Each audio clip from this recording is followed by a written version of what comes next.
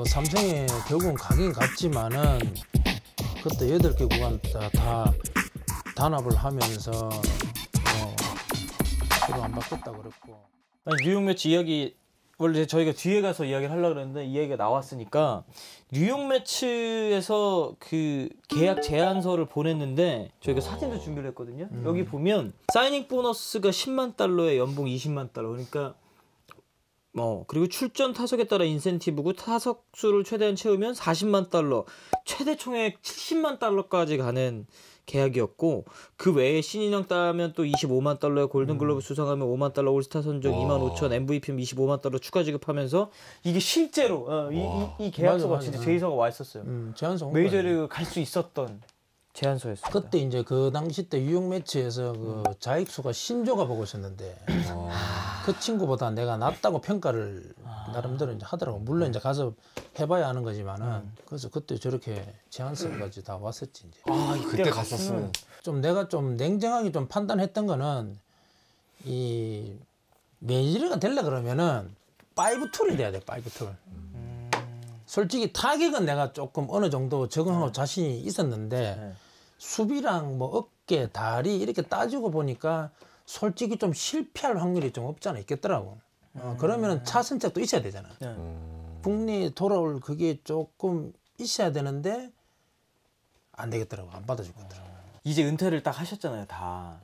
메이저리그를 선택하지 못한 거에 대해서 조금 아쉬움은 없으신가요? 의심 없어. 아, 진짜요? 예. 나는 어찌됐든 간에 또 그 삼성을 택했기 때문에 내가 국내에 그래도 뭐 지금은 기록 다 깨졌지만은 그 당시 때는 내가 아홉 개 통산 신기록을 내가 다 음. 가지고 있었으니까 음. 예.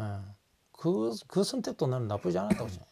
음. 나는 항상 어떤 그, 어, 최선의 그 선택보다는 항상 차 선택을 많이 선택했거든. 어, 계속 이야기가 나올 수밖에 없는 게 선수협 관련 이야기인데 여기서 한번 선수협 관련 음. 이야기를 해보고 갈게요. 어떻게 이 선수협을 준비하게 되셨어요? 그때 이제 해태로 트레이드가 되면서 네. 선수들이 이렇게 불합리하게 어, 전화 한 통화로 음. 그냥 트레이드 되고 지금은 뭐 계약서가 어떻게 되는지 모르겠지만은 그 계약서 자체가 완전히 뭐 노예 계약서나 마찬가지였거든. 예를 들어서 CF를 하나 찍으면은 네. 100%다 구단이 다 갖고 가야 돼. 음. 도의적으로 50%를 주는 거야. 계약서 상으로는 네, 100%다 구단 거야, 구단 거. 음. 어. 그래서 50% 그냥 해주는 거지. 사실상 그러니까 이제 그래가지고 너무 불합리하다. 그래 혜택 있을 때 내가 그때 슈퍼 게임을 갔어요. 네. 슈퍼 게임에 가가지고 내가 선수들한테 다 해가지고 음. 그 당시 때는 처음에는 이제 노조를 만들자 그랬지. 그때는 뭐 선수협을 몰랐으니까 음, 음. 노조를 만들자. 그때 이제 동의를 받아가지고 이제 내가 다 돌아다니면서 내가 선수협을 어떻게 보면 내가 이제 처음 만들었지 어떻게 보면. 아. 그러다 보니까 아무래도 구단에서나 이렇게 안 좋게 볼 수밖에 없었지. 말씀하신 대로 그것 때문에 불이익이 진짜 많으셨잖아요. 아 불이익 뭐 지금 뭐 어마어마했지 그때. 음, 그 그때 2000 2001년도인가 우리 그때 일곱 명인가 그때 다 영구 제명까지 당했었잖아. 어, 당했었는데 그때 이제 팬들이 다 막 들고 일어나줘 가지고 음. 그러다가 바로 풀려줬지. 음. 본인이 받는 불이익도 좀 컸고 조율하는 것도 쉽지 않았고 좀 나는 뭐 지치셨을 수도 있을 것 같은데. 엄청 진짜 다시 다시 하라고 하면 진짜 못할 것 같은데 뭐 그러다 보니까 내가 물론 그 삼성에 결국은 가긴 갔지만은 그때 여덟 개 구간 다, 다 단합을 하면서 뭐 서로 안 받겠다 그랬고 실제로 삼성 간 것도 내가 솔직히 말하면은 엄청 헐값에 간 거라. 음. 그때 뭐 마이너스 오션 포함해 갖고 한 21억인가 정도 됐었는데 사실상 제대로 이렇게 가격을 만약에 한다 그러면은 30억 이상 훨씬 받았어야 되는 게 맞거든 이제. 솔직히 이거에 대해서는 선수들이 이거는 좀 많이 알아야 될 것 같아요. 맞아요. 왜냐하면 이 예전에 이 선배님들이 그렇게 들고 일어나서 지금 선수들 굉장히 존중받고 맞아요. 이 처우도 좋고 그래서 저는 이제 그때 당시 굉장히 어렸으니까 저 유- 영상을 되게 많이 찾아봤어요. 음. 근데 이 선배님들의 그러한 어려움 속에서 지금 그 어려운 걸 이겨내시고 우리들이 이제 굉장히 처우가 좋아 좋아졌잖아요. 혜택을 많이 받죠. 네, 그 근데 이 후배가. 선수들이 그걸 모르는 선수들이 굉장히 많아요. 음, 선수들 잘 모를 거야. 네, 그런 역사나 이런 것들. 진짜 불과 막 그렇게 오래된 일이 아니거든요. 이 응, 선수 그때 당시에 진짜 구단 뭐 회장들이 담합을 해서 니네 하라면 해 이거였는데 그거를 이제 들고 일어나서 선수들이 지금 FA 굉장히 혜택을 많이 받잖아요. 그걸 선수들이 굉장히 많이 몰라요. 그래서 그래서 나는 이제 영상을 많이 찾아보고 와 굉장히 어려웠겠다. 나중에 이승엽 선배님까지 오시고 막 가입 해가지고 막, 막 눈물 흘리시고 음. 그런 것들이 없었으면은 아마 지금도 이 선수협이라는 것도 없었을 것 같아요. 막 선수들 반응은 어땠나요? 좀 많이 도와주는 편이었나요? 전혀 안 도왔다고 봐야 되지. 그렇죠. 그때 우리가 한 20명까지 남았었는데 우리 그때 강남에서 서로 합숙하고 또 그나마 이제 좀 약간 주전으로 있는 선수들은 괜찮았지만은 나머지 비준 선수들은 다 구단에서 회의를 많이 했어 회의를 특히 이제 가족을 찾아가서 뭐 어? 그러면 아무래도 바로 먹고 살아야 되는데 그만둔다 하면 얼마나 힘들었겠어요. 예. 그래서 이제 그 믿고 따라와 준 그 당시 때 아, 약간 비주전이었던 그 친구들이 정말 어떻게 우리보다는 그 친구들이 더 대단하다고 봐야 되지. 그때는 구단이란 회장들이 너무 힘이 세기 때문에 아, 장난이 아니지. 그냥 이렇게 해 그러면 바로 아웃이. 그때 당시 그래서 송진우 코치님이 또 나서서 음. 하시고 막 그 영상도 보면서 아 참 이런 게 있기 때문에 우리가 이렇게 좋은 대우를 받고 있구나라는 생각 선수 이걸 보는 선수들도 많이 생각하면 좋을 것 같아요. 이렇게 선수의 이야기를 또 해봤습니다. 그리고 나서 어, 삼성으로 간 양준혁 이야기를 해볼 텐데 다시 친정팀의 유니폼을 입게 됐을 때 기분 어떠셨나요? 나는 사실은 이제 다시 삼성 유니폼 입을 거라고는 솔직히 거의 아, 생각을 안 하고 있었어. 음, 예, 생각을 안 하고 있었는데 그때 김윤 감독이 아니면은 다시 돌아갈 수도 없었고 그 아까 얘기했잖아요. 다 여덟 개 구간에 다 단합을 한 상태인데 그 정도 감독님이 그 정도 되시니까 그걸 이렇게 풀어주지 안 그랬으면은 뭐 프로야구 바닥에 내가 다시 설 수가 거의 없었죠. 홈에서 삼성 유니폼 입고 딱 첫 타석 들어섰을 때 팬들이 막 환호성이 장난이 아니었을 거 아니에요. 아 그때 엄청 환영해줬고. 네. 내가 이제 타 팀에 있을 때도 대구 야구장 가면은 뭐 홈 그 대구 팬들이 엄청나게 환영을 많이 해줬죠. 해줬는데 어 진짜 딱 서니까 너무너무 뭐 가슴 벅차고. 야 그때 생각하면은 진짜 예, 너무 너무 막 떨렸고 하여튼 그랬던 것 같아. 진짜 이때 아마 그 중심 타선 이마양 와 이때 저도 기억나는데 진짜 무시무시했잖아요. 그거는 이제 2002년도 네, 때는 이후에. 내가 별로 음. 조금 못했어요, 별로. 아 그래요? 예, 그때 2할 7푼 6리 치고 음. 별로 못했는데 그때 이제 김윤 감독님이 그때 나를 그 다시 데리고 오면서 이제 한 얘기가 팀의 리더가 되어 달라 그러더라고 리더가. 아, 예, 왜냐하면 그 삼성 라이온즈가 그 전에는 이미지가 약간 모래알 팀이고 어, 어떤 끌어주는 어떤 그런 게 좀 없다 보니까 그때 내가 9년 연속 3할 치다가 그때 처음으로 2할 7푼 6리를 쳤었어요. 2할 7푼 맞아요. 6리를 치고 우리 또 감독님이 또 한 서너 게임 못 치면 또 게임도 안 내보내죠.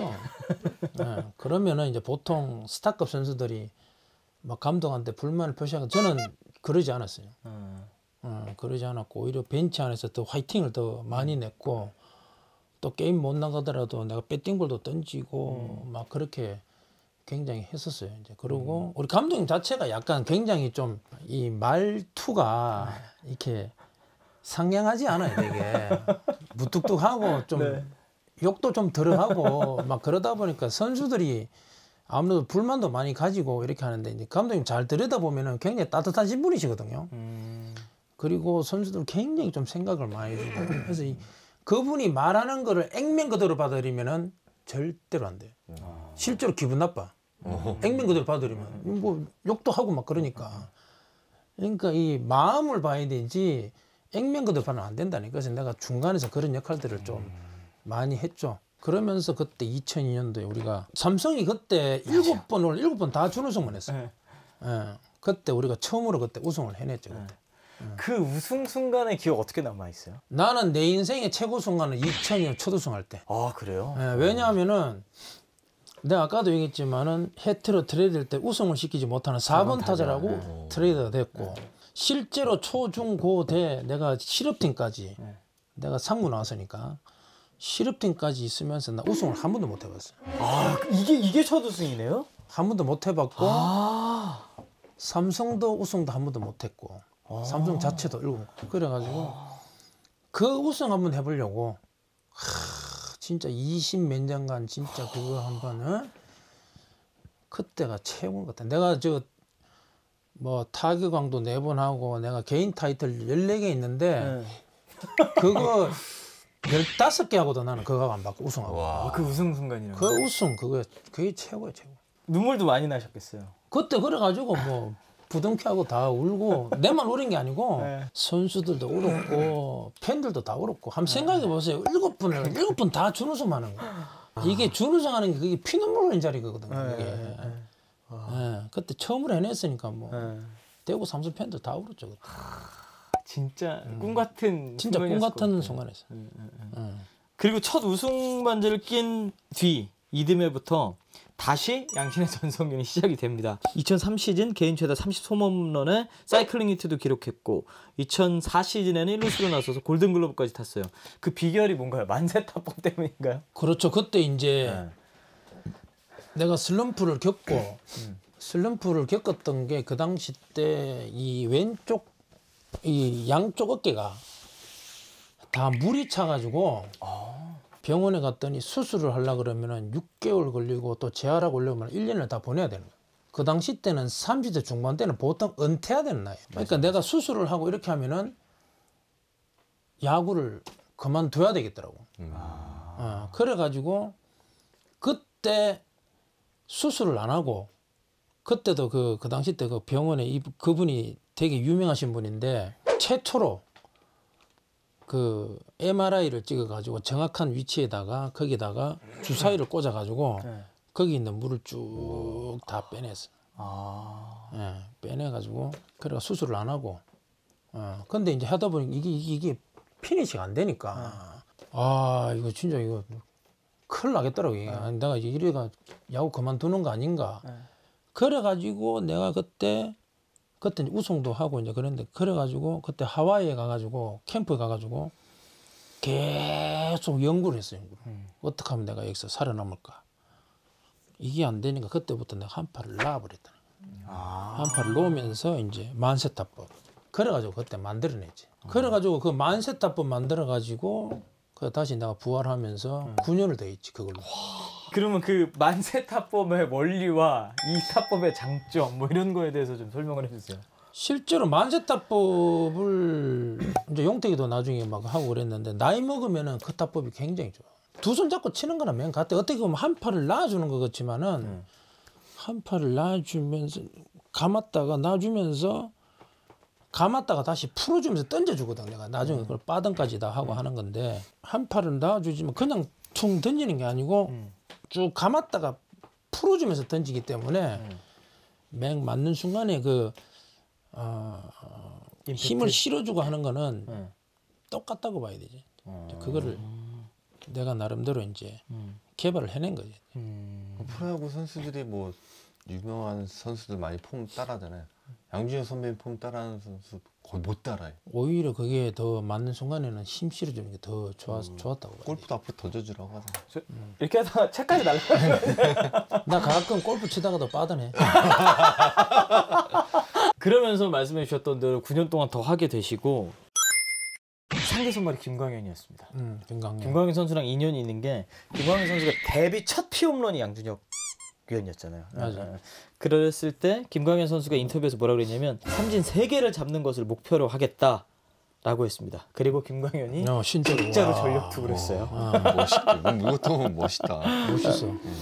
그때 어떤 심정이셨나요? 그게 보내는 사람이 어떤 그 예의라고 생각해. 음. 예, 근데 정말